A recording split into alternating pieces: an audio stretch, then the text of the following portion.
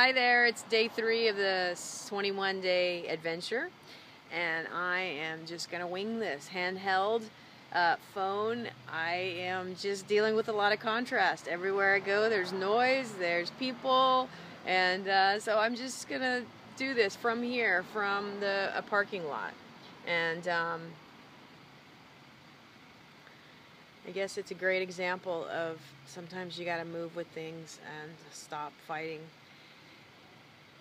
and just relax into it. So that's my lesson right now. And um, as we all set intentions for ourselves and want to really see something through to the end for 21 days, there are a couple of things that come up, uh, and one of them is contrast. So I want you to ask yourself when you uh, in the past have set an intention for yourself or you have set a goal for yourself and you got stopped, what stops you? So for you, what gets in the way of you having what it is you want to create? Do you suddenly get very busy? Do you feel overwhelmed? I know for me, I get confused or the waters get murky and I'm not sure or clear anymore. Um, but it could be anything. Sometimes maybe you feel sick, you feel tired, uh, overwhelmed.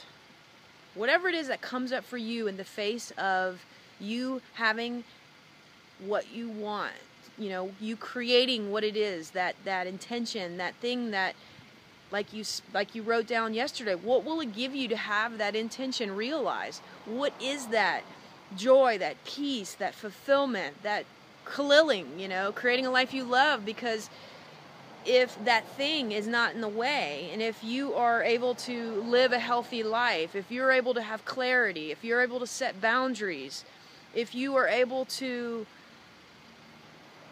all of the other things that you guys have been writing. I, I want to um, really get to know each other's intentions because they all are reflections of each of us. I mean, how many times have you read something of someone else's and you think, oh, that's perfect for me too? And guess what? You get to adopt that as well. Just keep your main intention though, so that you have a guiding principle, something that's going to bring you through this 21 days. And of course, many other things are going to come up for you and many opportunities to walk through some old fears and create some new ways of being for yourself. So, here I am reporting from a uh, literally a parking lot. so I am really experiencing, you know, surrender right now.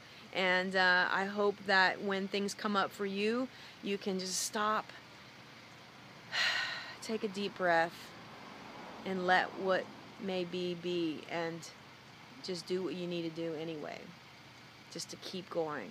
Keep going after what it is that's going to make your heart sing and uh, go to the Facebook page, write about that thing that you know about yourself. I want you to tell on yourself. What's the thing that comes up for you? Where do you get stopped? Share that so that it's not a secret anymore. It's not hiding somewhere. Like, oh, I'm so afraid I might do that thing I always do. Get it out, talk about it. Let's not have these things that aren't even real own us. They're old behaviors, they're old ways of being in the face of you stepping up.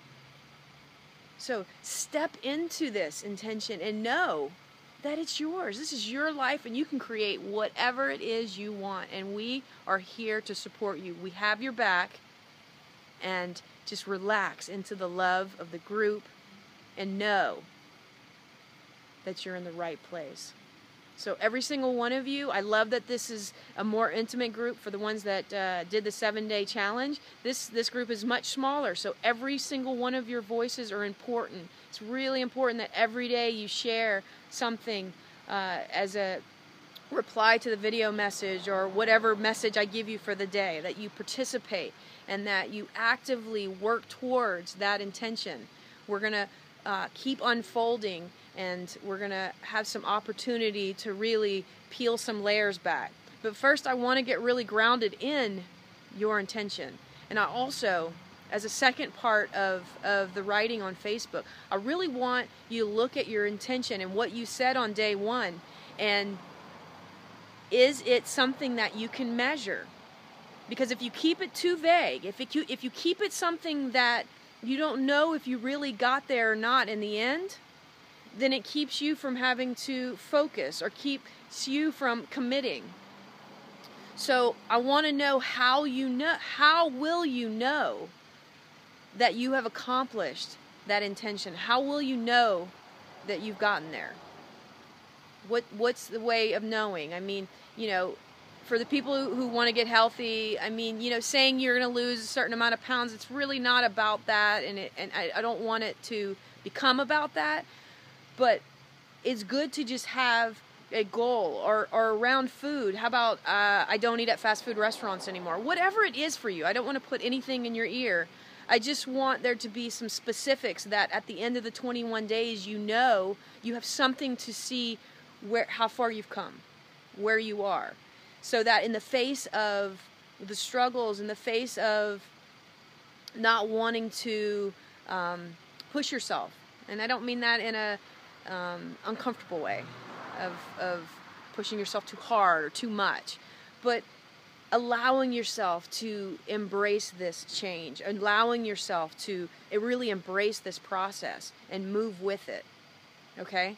So go to Facebook, write about those two things, and um, we're just going to keep on keeping on and uh, i'm just going to keep experiencing my contrast and uh, smiling through it so love you guys and uh, see you on facebook Mwah.